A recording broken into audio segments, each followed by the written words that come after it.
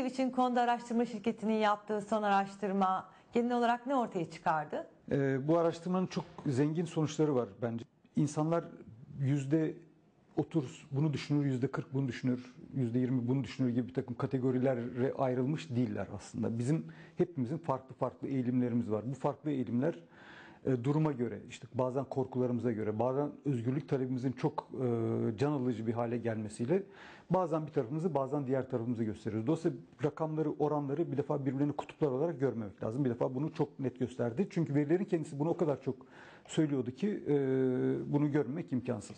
Ve arkadan daha sonuçlar itibariyle düşündüğümüz zaman da örneğin işte bir taraftan gayet devletçi denilebilecek işte e, veya toplumdaki genel şimdiye kadar statüko işte e, alışılagelmiş ezberler işte devletçi mantık gibi çok yakın cevaplar veriliyor ama bakıyorsunuz ki bir yandan gene çok önemli kitle aynı anda çok daha özgürlükçü, çok daha değişim e, talep eden yeni bir şeyler istiyorlar. Dolayısıyla o zaman bir takım insanlar ya toptan otoriter ve toptan demokrat değiller. Hepimizin içinde hem otoriter hem demokrat eğilimler var. Dolayısıyla araştırmanın en önemli bulgularından biri de bu.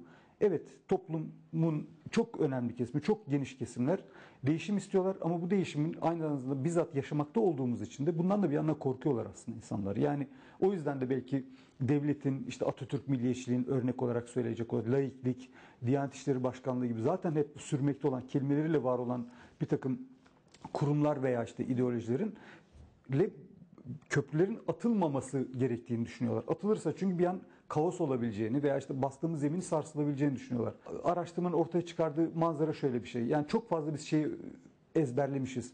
Ya o ya bu. Yani ya evet ya hayır. Ya siyah ya beyaz. Hayır biz aslında galiba şunu görüyoruz. Toplum dediğimiz yer aslında hem o hem bu. Hem işte özgürlük ama bir yandan istikrar ama bir yandan da korkulara karşı işte güvence isteyen ve güvensizliği aşacak bir takım talepler var. Sonuçları belki şöyle bir şeye bağlayabilirim. Bu araştırmanın çıkardığı en önemli sonuçlardan biri. Bu toplum inanılmaz travmatize olmuş bir toplum.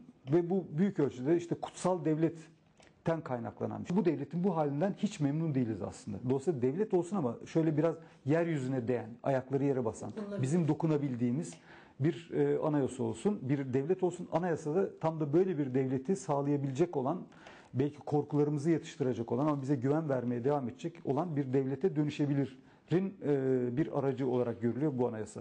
Bu araştırma sonuçlarına göre sizce Türkiye modernleşiyor mu yoksa muhafazakarlaşıyor mu? Ee, Bunlar birbirine dışlayan şeyler değil aslında. Yani modern muhafazakarlık olabilir. Muhafazakarlaşan bir modernlik de olabilir. Ee, Kaldı ki işte gayet bir zamanların devrimci, yenilikçi olan modernist zihniyeti gayet muhafazakarlaşabilir. Türkiye bunun örneklerinden biri. Bütün dünyada bunun örneklerini görmek mümkün. Dolayısıyla Türkiye'de galiba işte hem bir tarafıyla muhafazakar, bir tarafıyla gayet modern denilebileceğimiz toplumsal kesimler var. Bunların sesi, gücü oldukça fazla. Ama galiba e, daha hakim olan, en azından bu araştırmaya göre e, diyecek olursak, şöyle bir eğilim daha fazla.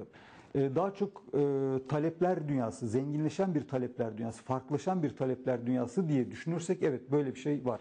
Dolayısıyla bunun içinde muhafazakarlık da var. Yani biz modernleşiyoruz. Bu hem iyi hem kötü anlamlarıyla. Yani geçmişi unutuyoruz artık çok büyük ölçüde örneğin. Yani muhafaza edilecek şey kalmıyor. Kentlere falan bakın mesela işte bütün o gökdelenler tepelere tırmanırken yeşili meşili her şeyi yok ederken işte ovalar, bayırlar, akarsular kirlenip işte e, bir takım e, engeller e, doğaya ulaşımımızda engeller ortaya çıkmaya başlarken bu da tırnak içinde modernleşme denebilir buna ama gayet kötü sonuçlar olan bir modernleşme.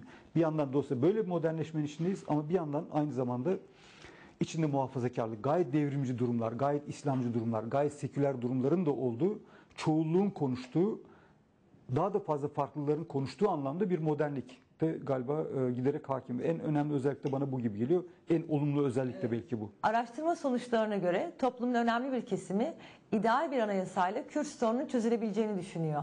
Siz bu tabloyu nasıl değerlendiriyorsunuz?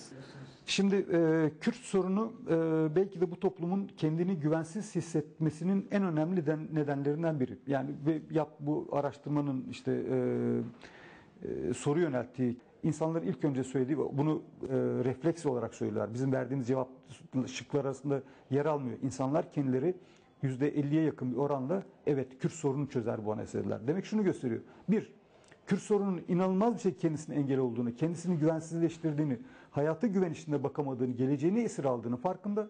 Ama aynı zamanda iyi bir anayasa yapılırsa bu sorun çözülebileceğini, daha da önemlisi bu sorunun artık çözülmesi gerektiğini düşünüyorum. Teşekkür ederim.